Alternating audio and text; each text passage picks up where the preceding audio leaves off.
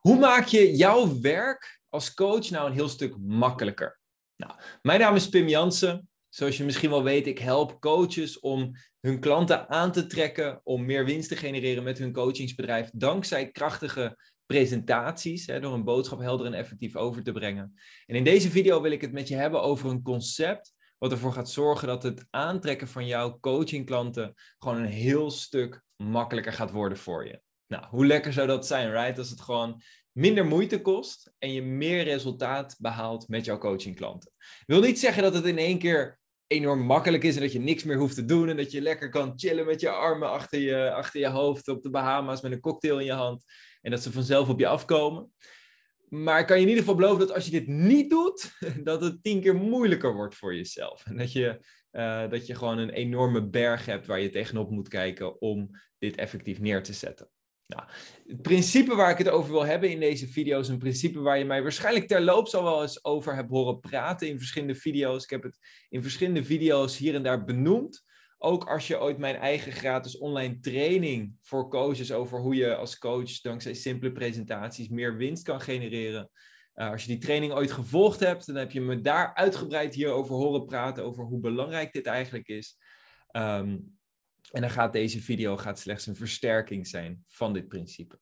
Hey, dus allereerst, waarom zou je naar mij luisteren? Waarom zou je mijn boodschap serieus nemen? Uh, de afgelopen jaren heb ik zelf iets meer dan 2 miljoen weergaven gegenereerd op YouTube. Ik heb elke week gesprekken gehad met verschillende coaches om ze te helpen. Ook intakegesprekken voor mijn eigen trainingen. Als dat intakegesprekken voor mijn eigen coaching waren, dan was mijn agenda inmiddels prop en prop vol. Want je kan je voorstellen als je elke week intakegesprekken hebt voor, uh, voor coachingklanten, dat je dan binnen no time vol zit.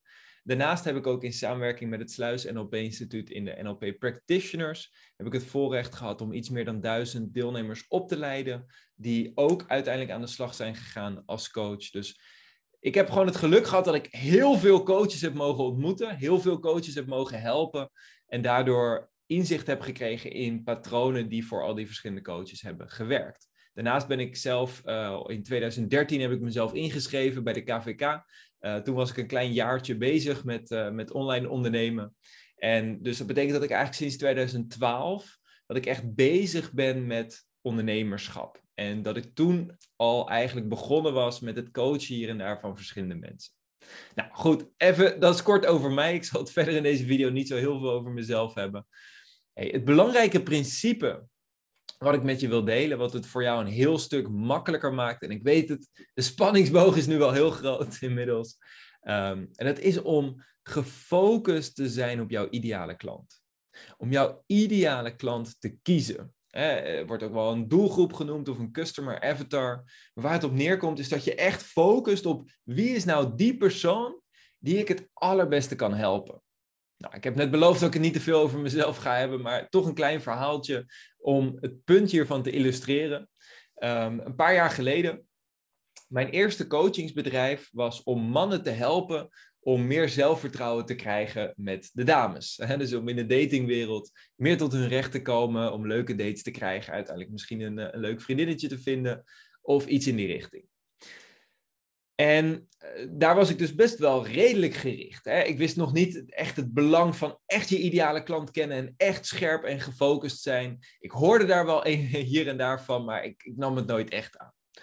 Sterker nog, toen op een gegeven moment toen voelde ik eigenlijk van hé, hey, ik wil een shift maken naar meer mensen kunnen helpen, wat meer algemeen persoonlijke ontwikkeling. Dus toen ik dit YouTube-kanaal begon, in ja, vier jaar geleden denk ik, vier à vijf jaar geleden, toen was mijn eerste doel om het zo algemeen mogelijk te maken.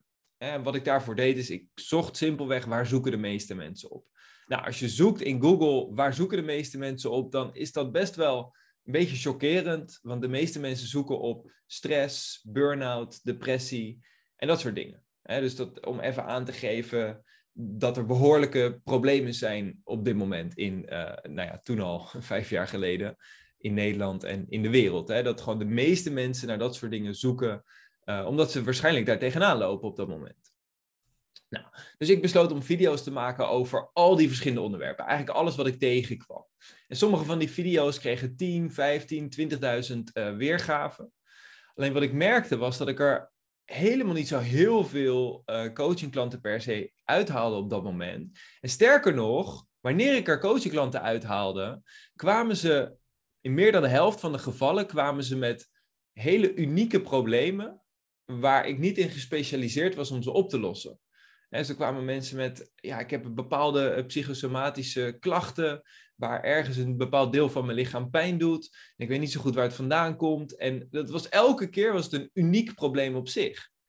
Waarvan ik als coach vaak dan zei van, nou weet je wat, ik geef je gewoon garantie van, we gaan gewoon kijken of ik het kan oplossen. En als het lukt, dan lukt het. En als het niet lukt, dan lukt het niet. Nou, gelukkig, in veel gevallen wist ik er toch op de een of andere manier wel iets van te maken dat ze in ieder geval zich beter voelden en in ieder geval stappen konden zetten.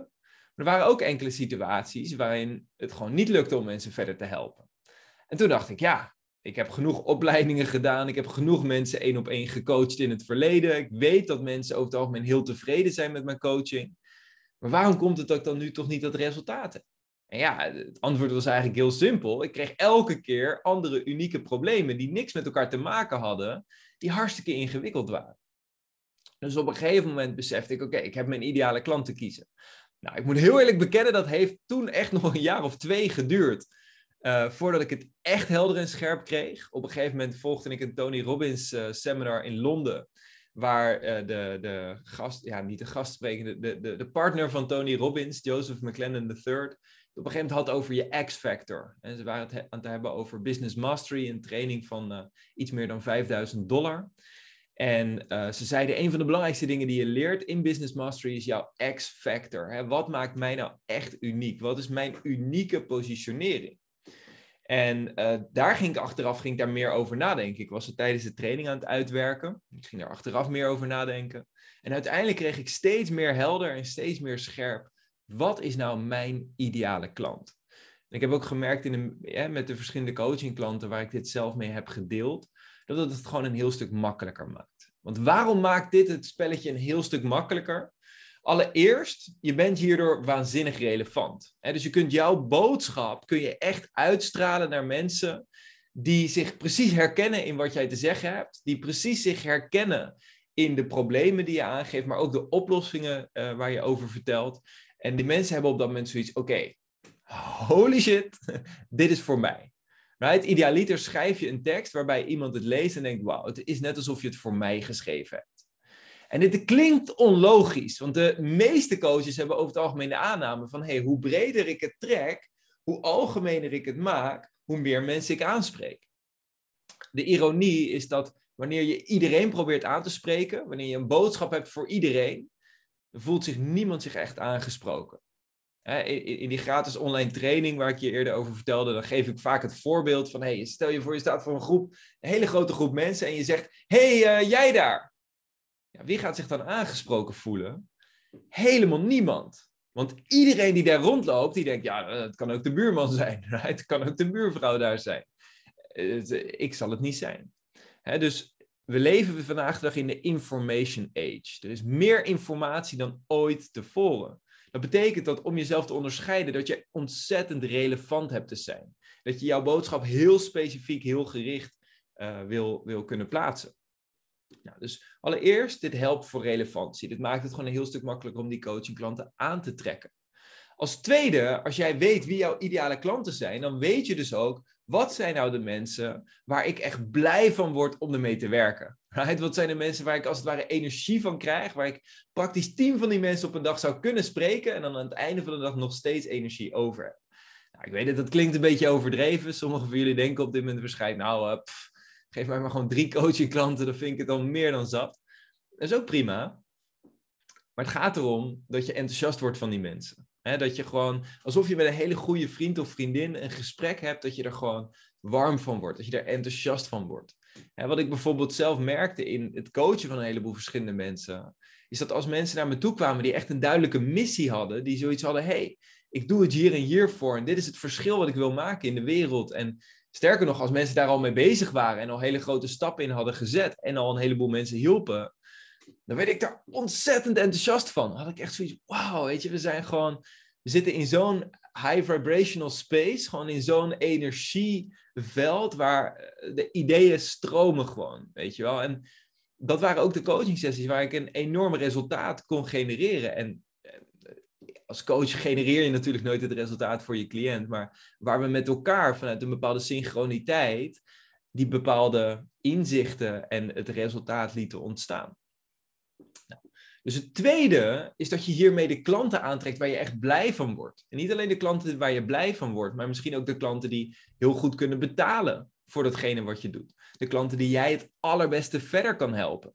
En de klanten die ook echt jouw hulp nodig hebben. Die klanten die een probleem of een obstakel hebben op dit moment, wat zo groot is, waarvan ze zoiets hebben: hey, dit moet en zal ik nu oplossen.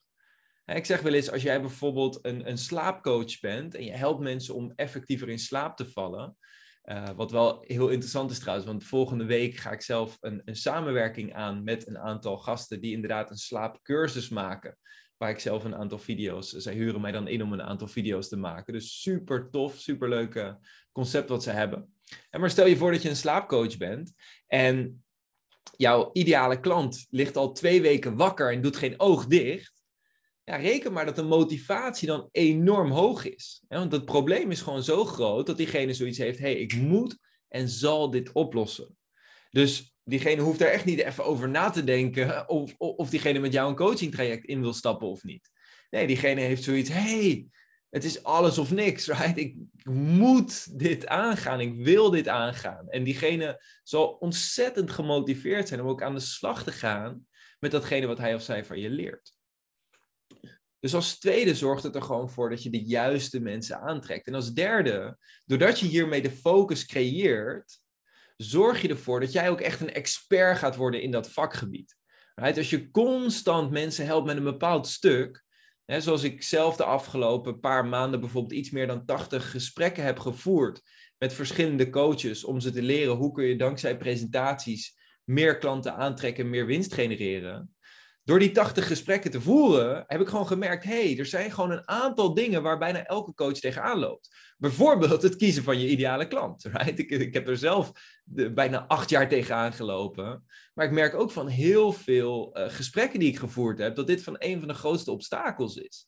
Dus daar zijn vaak heel veel valkuilen die in de weg staan. Van, ja, ik wil niemand afwijzen. Of ja, maar als ik het op iedereen richt, dan kan ik, ik heb een missie, ik wil de hele wereld helpen. Right? Dus ik wil iedereen. Dus er zijn een aantal denkpatronen die bijna elke coach heeft die ik heb gesproken, die gewoon een obstakel kunnen zijn, en in de meeste gevallen ook een, een, een obstakel zijn, om daadwerkelijk die ideale klant aan te trekken en die focus te creëren. En wat ik heel erg heb gemerkt, is door dus echt op één ding te focussen, dat je daarin een expertise kunt opbouwen. En dat je daarin gewoon ontzettend goed kunt worden, veel sneller dan als je je aandacht zou verspreiden. Nou, als dit je aanspreekt en als je zoiets hebt van hey, ik ben eindelijk overtuigd, ik ga die ideale klant kiezen en ik ga ervoor zorgen dat ik op die klant ga focussen, uh, dan heb ik iets tofs wat het voor jou makkelijker kan maken. Ik heb namelijk afgelopen week heb ik een online cursus opgenomen over hoe je jouw ideale klant kan aantrekken. Die cursus is zo opgebouwd dat je de eerste drie video's krijg je helemaal gratis met een aantal opdrachten, een aantal oefeningen, waardoor je direct al meer helderheid gaat krijgen over jouw ideale klant. En als je dan een volgende stap wil zetten, dan zijn er nog een aantal video's waar we bijvoorbeeld met visualisatieoefeningen aan de, aan de slag gaan om echt empathie te creëren, echt het gevoel te creëren. Dat je jezelf kan verplaatsen in jouw ideale klant en diegene gewoon nog beter gaat begrijpen, waardoor het veel makkelijker wordt om je echt in te leven en die boodschap specifiek relevant te maken voor die persoon. Daarnaast uh, krijg je nog een aantal verschillende video's in de betaalde cursus, waar je er gewoon echt nog dieper in kan gaan. Nou, mijn advies is om gewoon eerst die drie gratis video's uh, te, te downloaden, te bekijken. Uh, die oefeningen te doen, te merken wat je daaraan hebt. En als je zegt, hey, ik wil een volgende stap zetten, dan kun je met die volledige cursus aan de slag gaan. En dan beloof ik je dat het waarschijnlijk tien of misschien wel honderd of duizend keer de investering waard gaat zijn. En ik weet dat het klinkt als een belachelijk grote claim. Alleen dit is het fundament voor je bedrijf. Ik heb elke dag als ik een video maak, heb ik onder mijn camera heb ik een, uh, een beschrijving van mijn eigen ideale klant hangen. Zodat ik even daarnaar kan kijken en even dat contact kan maken. Omdat ik weet, dit is gewoon zo essentieel, zo ontzettend belangrijk. Dus je gaat merken, hè, de prijs van die online cursus is belachelijk laag. En wat ik recentelijk heb besloten, hè, misschien heb je die video al gezien, misschien nog niet. Uh, maar vanwege de verschrikkelijke situatie in uh, Rusland-Oekraïne en alle slachtoffers die daar zijn, heb ik besloten om mijn steentje bij te dragen. Dat 100% van de inkomsten tot en met 31 maart 2022 uh, van die online cursus ten goede komen aan Stichting Vluchteling om de slachtoffers van de oorlog te helpen. Dus ik wil je ook uitnodigen, hè, als je het niet voor jezelf doet, doe het dan in ieder geval voor hen. Right? En, en doe het trouwens ook voor jezelf, want je gaat zelf gewoon enorm veel aan deze cursus hebben. Um, maar mijn doel is niet om hiermee winst te maken. Hè? Dus ik vraag een, een enorm laagdrempelig bedrag. En dit bedrag is niet om, uh, om daar zelf rijk van te worden of iets dergelijks. Dit bedrag is voor mij gewoon puur om uh, jou te helpen om ervoor te zorgen dat ik blije klanten creëer, zodat de kans groter wordt dat je in de toekomst vaker zaken doet uh, met mij. Hè? Als je in de toekomst dus een keer een training of een coaching wil volgen, dat je al resultaat hebt gekregen, dat je al een stap verder bent, waardoor het gewoon veel makkelijker wordt om die volgende stap te zetten. En um, hè, sinds uh, die cursus had ik vorige week gemaakt, voordat dit alles gebeurde. Maar toen dit allemaal gebeurde, dacht ik: oké, weet je wat, hoe kan ik mijn steentje bijdragen? Ik kan natuurlijk persoonlijk doneren, dat heb ik ook gedaan. Maar om echt een verschil te maken, uh, sta je samen altijd sterker dan alleen. dus daarvoor wil ik uh, jou uitnodigen om, als je die bijdrage levert, hè, als je die uh, online cursus koopt, waar je nogmaals zelf gewoon enorm veel aan gaat hebben, dat we met elkaar gewoon de slachtoffers van deze oorlog, de mensen die hier niks aan kunnen doen, de mensen die on, onverhoopt gewoon hier middenin zijn gekomen, dat wij in ieder geval een steentje kunnen bijdragen. Misschien voor een paar mensen het verschil kunnen maken dat ze wel positief door kunnen gaan. Dat ze wel uh, hierna nog een leuk leven gaan, gaan leiden. Dus, en dat ze het weer kunnen opbouwen. Dat, ze, dat ze gewoon vanuit de puinhoop weer iets neer kunnen zetten. Dus ik weet zeker dat ze het bij Stichting Vluchteling, dat ze het daar goed kunnen gebruiken. Dat ze daar iets moois ermee gaan doen. En dat wij voor een paar mensen echt het verschil kunnen maken. Dus nogmaals, ik wil je uitnodigen om deze cursus te volgen. Je gaat er zelf enorm veel aan hebben. En je levert ook nog een mooie bijdrage voor de mensen die het op dit moment hard nodig hebben. Dus hey, ik hoop überhaupt dat je deze video ook waardevol en interessant vond. Als je dit een waardevolle video vindt, vindt en vond, klik even op het duimpje omhoog. En als je meer van dit soort video's wil zien, abonneer je op mijn YouTube kanaal. Bij deze, ik uh, ga zo meteen, uh, het is nu uh, vijf over zeven ochtends op de zaterdagochtend. Ik ben weer vol energie, lekker vrolijk. ik ga straks verder met een ademcoachopleiding die ik zelf volg. Ja, ook als coach, ook na, na bijna tien jaar te hebben gecoacht en tientallen verschillende opleidingen, cursussen en trainingen te hebben gevolgd. Volg ik nog steeds opleidingen om mezelf te blijven verbeteren. Right? Ook het resultaat van je cliënten is gewoon waanzinnig belangrijk. En alle tools die je kunt hebben om te verbeteren zijn meegenomen. En eerlijk gezegd heb ik deze opleiding in eerste instantie eigenlijk gewoon uh, gevolgd. Of volg ik deze opleiding uh, gewoon voor mijn eigen, voor mijn eigen ontwikkeling. Hè? Omdat ik zelf gewoon ademhaling fascinerend vind. En daar zelf ontzettend veel aan gehad heb de afgelopen twee jaar. Dus uh, ik kijk er heel erg naar uit. Vandaag gaan we weer allerlei bijzondere oefeningen doen om echt diep, diep in contact te komen met het onderbewustzijn en door middel van ademhaling uh, hele bijzondere ervaringen te creëren en vooral ook te leren hoe we dat bij anderen gaan doen. Dus ik ben heel enthousiast. Ik ga vandaag een prachtige dag tegemoet. Ik hoop dat jij ook een mooie dag hebt vandaag en wij spreken elkaar een volgende keer. Bij deze, ciao ciao!